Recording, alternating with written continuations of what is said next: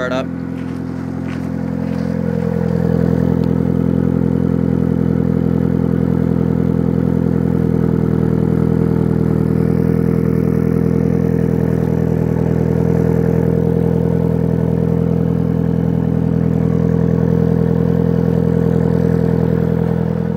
Do any of you guys know what this sound is?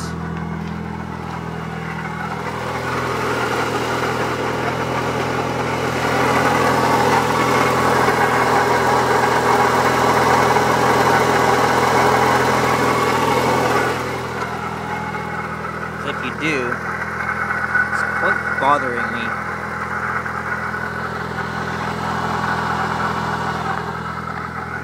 Mods are uh, balance shaft, belt uh, eliminated, uh, uh, Pexi turbo back, uh, Greddy Type RS Bove, um, KYB struts, Eibach springs, uh, or Eibach, whatever, um, Sparco wheels,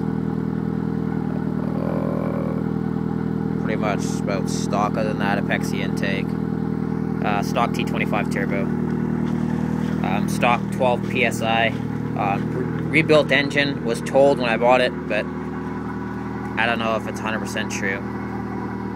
You can tell by the block's been repainted and everything like that, and there's markings on the side of the block, but I don't know, guys. Um, if you guys know any of you guys know that sound, do all DSMs make that sound, or is there something like uh, I would say uh, a tensioner might be going, a bearing in the tensioner is probably not doing so well or something. Um,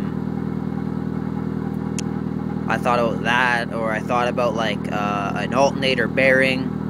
Um, to me, it kind of sounds like some type of bearing that's making that sound for the the grinding, that like grinding noise that just constantly kind of sits there. It goes up with revs also, so it's definitely in the belt area.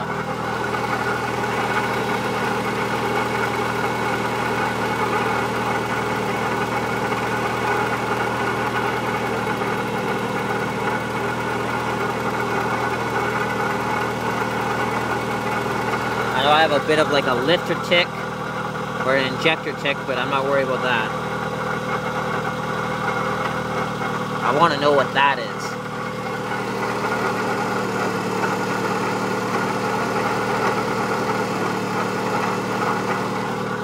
You guys know, please help me figure out what it is or tell me what that is so I can fix it.